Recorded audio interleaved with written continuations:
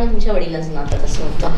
नाही मगाशी मी बोललो तसंच आहे. ते काय ते त्यांच्या बाजूने चांगलेच होते. माझ्याकडनं ती मग ते रिबेलियनच असतो आपण. त्या आणि प्रत्येक ठिकाणी आपण म्हणतो तसंच आहे की बाप ही आपल्याकडे तशी घाबरवायची वस्तू आहे. नीट राहा ना किंवा वडिलांना सांगे. हम्म. अभ्यास कर यायची वेळ झाली साडेसात बस अभ्यासाला हातपाय धुवून बस. हीच आहे. त्यामुळे मुलांच्या मनामध्ये मग माझ्या वयाची जी लोक होती त्यांच्या मनामध्ये बापाची प्रतिमा ही तीच होती. की एक घाबरायची वा कारवाई करून घ्यायची गोष्ट आहे ती. हं. जेव्हा मी माझ्या मुलांकडे बघतो त्यावेळेला मला असं वाटतं की त्यांच्या दृष्टीने आता बाप मित्र आहे. आणि मग माझ्या लग्नानंतर ऍक्च्युली खरं तर आहे ना वडिलांचं आणि माझं बऱ्यापैकी रिलेशन बदलली. म- अं, म- आळंदीला जाऊन लग्न केलं होतं मी आणि त्यावेळेला मी अगदीच पुण्यामध्ये परत मी नगरला शिकायला गेलो होतो. वडिलांनी मला सांगितलं होतं की अरे ते दोन ऑप्शन होते माझ्याकडे त्यावेळेला की इधर मर्चंट नेव्हीला जायचं और डब्ल्यू एम डी सीनी एक प्रोजेक्ट केलेलं होतं त्यावेळेला की काचेच्या वस्तू बनवायच्या. असं एक त्यांच्या सगळे सगळ्यांचा. आणि साडेचारशे रुपये तेव्हा स्टायपेंड होता. ओके. सत्याऐंशी अठ्ठ्याऐंशी हो. चालू महिना स्टायपेंड साडेचारशे लाख रुपये होता मग कॅपिलरीज असतील टेस्ट ट्यूब्स असतील किंवा वेगवेगळे ते हे दिसतात बघ तुला विकताना की ते पाणी भरलेले ते असं. आहे आणि तो टाक आहे ग. तर अशा गोष्टी बनवायच्या काचेच्या असायला वडील मला म्हटले हे कर. ह्याला स्कोप आहे. हे कर हे कर. ते हे म्हणतात. मला नाही करायचं. मला सायन्स करायचं म्हटलं सायन्स तर वडील म्हटले किती मार्क आहेत तुला दहावीला? मला ते बावन्न टक्के. गणितात तर दीडशे पैकी बावन्न होते मला. तर त्याच्यातही वडिलांनी मला आहे ना तुला घ्यायचं पुण्यात त्यांनी चौकशी केली. ते म्हणजे पुण्यात तर शक्य नाही तुला सायन्स मिळणार. तू नगरला जा शिकायला. मग मी मावशीकडे नगरला शिकायला गेलो होतो तिथे. मग तिथून ते सगळं शिकून आलो. आणि ती म्हणजे ती ते होते ग त्याच्यामध्ये. आणि झालं मग मी पुण्यात आलो व्यवसाय. मी म्हटलं मगाशी तसं इकडच्या दगडावर पाय तिकडच्या दगडावर पाय करत करत पुण्यातच विश्रांतवाडीला राहायला गेलो. मग कधीतरी आमचं जमलं लग्न झालं.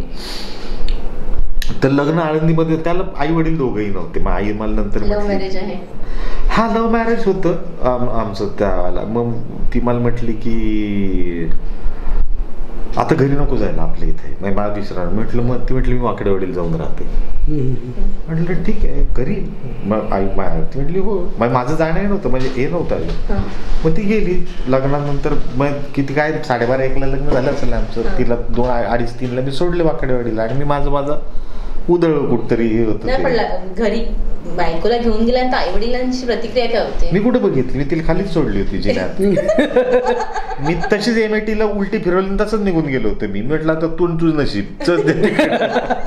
ही फॅमिली ही फॅमिली आहे आणि ह्या गोष्टी आहेत. आता हे तू बघ. हे तिला मी सांगितलेलं होतं त्याच्यात त्याच्यानंतर आठ दिवसानंतरची स्थिती अशी होती की ही सगळी लोक एक होती आणि मी एकटा बाजूला होतो. बायको आणि बाय वडील असतील बायको आणि आई असेल हे सगळ्या बहीण असेल. हे सगळ्यांचं मिळून एक युनिटी झालेली होती. आणि सगळ्यांचं एकमत झाली बावळट आहे. बायकोची वरती म्हणजे घरात कशा पद्धतीने वातावरण म्हणजे कधी मग ती काय मग ती काय मी म्हटलं ना तुला किती धास्ती होती त्यांना. ती काय विलन नव्हते ना रे ते. कोणीच. माझे वडील तर उच्च विद्याविभूषित येत होते. मग एम एस सी ॲग्री झाले होते एम फिल झालेले होते पी एच डी मग त्यांना असं वाटत होतं की मी शिकावं काही ना. काहीतरी शिकावं. आणि त्यांच्या एका पॉईंटला लक्षातही आलं असणार आहे की हे अभ्यासात फार गती नाही. त्यांचं उलटं म्हणणं असेल मला मग जेव्हा बोलाय त्या त्याला मला सांगायचं की तू जरा फोकस हो. मग तू धरसड वृत्ती आहे ना हिले मागात पडेल म्हणजे जरा फोकस हो. तू म्हणशील तू मनात ठरवशील ते होशील. तू मनात ठरव. तुला काय व्हायचं ना ते ते तू होशील. हं. म्हटलं "हे असं कुठं असते का? ते कारण त्यावेळेला खूप होते ना. आणि पौगंडावस्थेतलं वय होतं ग ते त्यावेळेला. आणि ब- समोर असणारी अशा म्हणजे भुरळ पाडणारी आणि लक्ष डायव्हर्ट करणाऱ्या खूप साऱ्या गोष्टी असतात ना. म्हणजे आता त्या गोष्टींचं काही वाटत नाही. पण ज्यावेळेला मी दहावी अकरावीत होतो त्यावेळेला दारूसारख्या गोष्टी होत्या. त्याच्यानंतर काय सिगरेटसारख्या मावासारख्या पोरी असायच्या आजूबाजूला. आणि ती ती तुम्हाला भुरळ पाडतात ना गोष्टी त्या. होत काहीच नाही आयुष्यात. म्हणलं दारू पिलं मग त्या. किती पितो एखादा ग्लास पितात त्याच्यापैकी पण ते तरी पण हे- असायचं ना. आणि त्या गोष्टी हळूहळू डायव्हर्ट करतात. अरे म्हणजे तुम्हाला एकदा डिफोकस करतात त्या गोष्टी. तुमच्या जी आपण डिटर्मिनेशनने जे काम करत असतो ना ती कंप्लीट नाही सकत आणि म्हटलं ते जे करायचं ते ठरवते. आणि मग एका पॉईंट नंतर आम्ही बोलत गेलो. एक मग लग्न झालं मग त्याच्यानंतर मग आठ दिवसात तर ह्याच्यातनं मग बोलल्या. मग एक एक एक एक एक गोष्टी बोलायला लागलो आम्ही. काय काय काय काय? आणि माझ्याही वडिलांवरती राग मग मी शोधायचा प्रयत्न केला. मूळ तर तो तो तेच होतं की त्यांनी त्यांच्या वाट्याला जे आलेलं होतं की घरनं जी जमीन आलेली होती ही होती ती त्याच्यावर पाणी सोडलेलं होतं त्यांनी. ते म्हटले मला नको आहे म्हटलं हो, तुम्ही आमचा तरी विचार करायचा ना त्याच्यामध्ये. म्हटलं मला बी एस सी ॲग्रीला ॲडमिशन घ्यायची असेल तर शेतकऱ्याच्या मुलांना पटकन आहे. मग मला कशी मिळणार? माझ्या बाबाच्या नावावरती हेच नाही ते म्हटलं तुला ॲडमिशन घ्यायची असेल तर तेवढे मार्क पाड आपण बघू काय करायचं.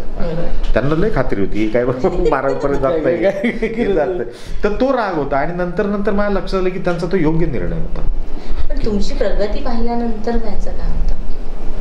काय ठीक होते मग हात पसरावं लागत नाहीत कुणा पुढं हे बघणंच प्रत्येक बापाला चांगलं वाटत असतं ते. आणि आता ते मी म्हटलं मी मागं पण तो एक झालं की शहाण्णव सत्त्याण्णवच्या आसपास कधीतरी त्यांना भयंकर त्रास झाला होता. खूप आणि त्यांना ते नाटकात बिटक्यात हा ठीक आहे करतो बा काम. असं काहीतरी होतं त्यांचं ते. तर त्रास झाला आणि जोशी हॉस्पिटलला ॲडमिट होते ते. चार पाच दिवस तर अनकॉन्शियसच होते. काहीच हे नव्हतं. आणि ज्यावेळेला शुद्धीत येत होते त्यावेळेला मी बाजूला होतो ए मध्ये.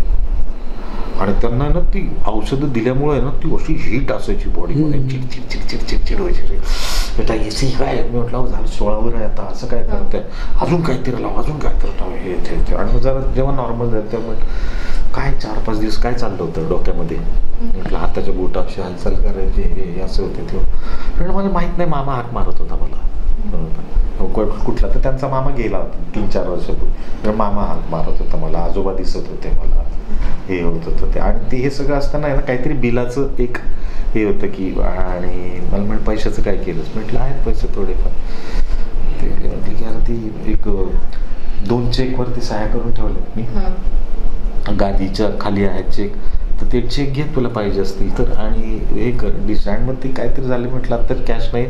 तर आई मला म्हटली की अरे ते घेत ते काहीतरी सांग. म्हटलं म्हणून मी घरी गेलो. आणि कारण सगळे हॉस्पिटलमध्येच घरी गेलो इकडे तिकडे उचकलं त्यांची गादी होती ती अशी काढली आणि पालथी ठेवली तिथं खाली असे सगळे कागद होते तिथे. सगळे त्यांचे ते बँकेचे कागद बिगद ते त्याच्यातून ती हे काढली आणि फाईल दिसली मला. आणि त्याच्यावरती शशांक असं लिहिलेलं होतं. म्हणून मी ती फाईल काढली. ती फाईल काढली आणि बघितली तर ब्याण्णव त्र्याण्णवपासून मी जी नाटकं केलेली होती ती याच्यापर्यंत तोपर्यंत ती ती सगळी कातरणं काढून ठेवलेली होती. आणि त्याच्यावरती आहेत ना अशा खुणा करून ठेवले होते माझ्या नावाखाली. आणि ना पेपरवरती तारीख होती तारीख. तेरा जून एकोणीसशे काहीतरी ही पुढची ही आणि ती अजून असेल गेली माझ्याकडे. अनसेड होत्या ना त्या गोष्टी.